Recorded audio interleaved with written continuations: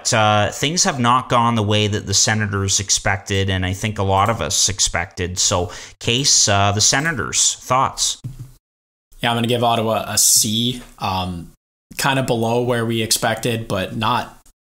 This isn't totally shocking given the division that they're in.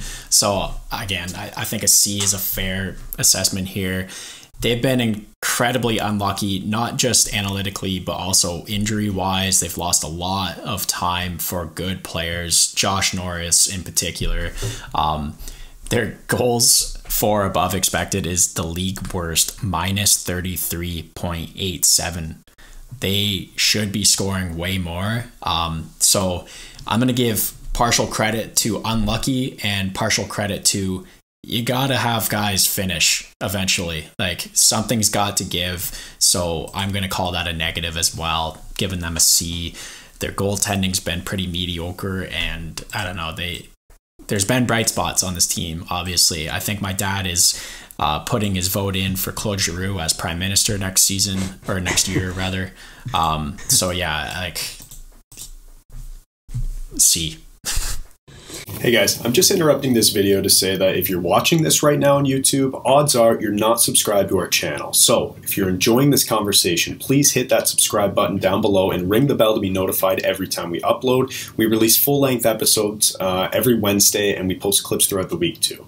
We're trying to hit 200 subscribers at the moment and we're going for two likes on this video, just two likes.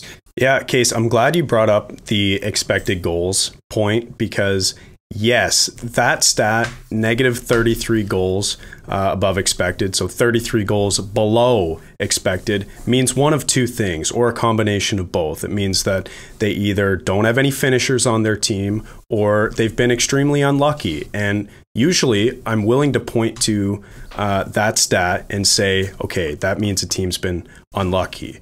But for the Sens, this has been kind of a trend. And I think it starts with Brady Tkachuk and we've talked about this before. He's a notorious volume shooter and a volume shooter from poor positions on the ice. He just throws everything on net, and sometimes that's good, but uh, he doesn't score a lot. So he always generates way more uh, expected goals than he actually scores. And I don't know if that has to do with the system or if it's just the player or like people on players on his line or, or what's going on. But I think it's a combination of both. They need finishers and they've been slightly unlucky this year.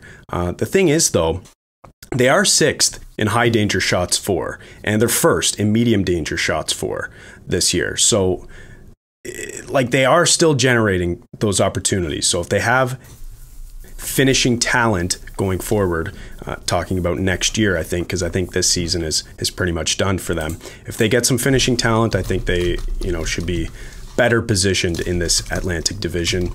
Um, I was looking at some of the the players on their team production wise. Their top six guys really are producing pretty fine. You know, Tim Stutzle and Brady Tkachuk both over a point per game. And then Giroux, uh, Batherson, and uh, DeBrincat, they're all just slightly below, so that's fine.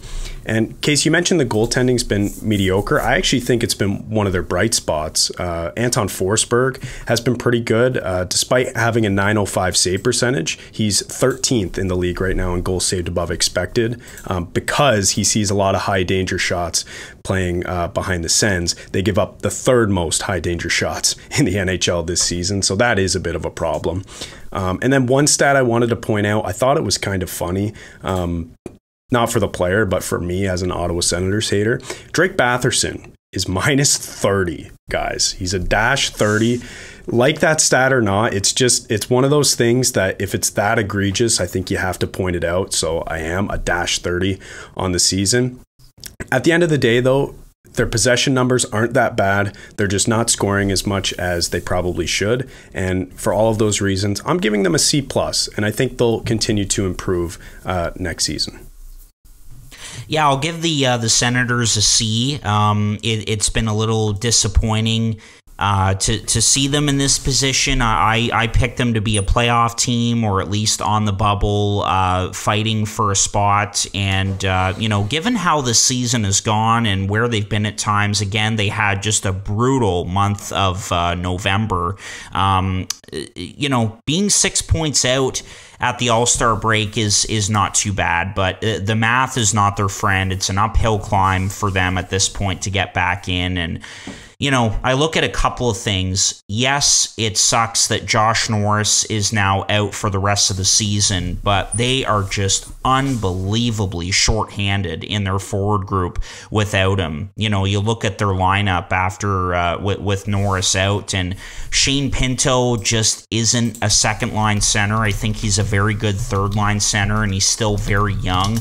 And then you have Derek Brassard uh, in in that spot at times, which just is not going to work at, at his stage and in his career. So that's one thing, and then the other thing, uh, they need a defenseman so badly, I think, and so we've been hearing uh, rumors lately that they are looking at adding a defenseman that can really help them in their top four, and so it's kind of weird to look at them as you know trying to to buy a, a defenseman who's going to help them at this point with where they're at outside of a playoff spot and their season likely over.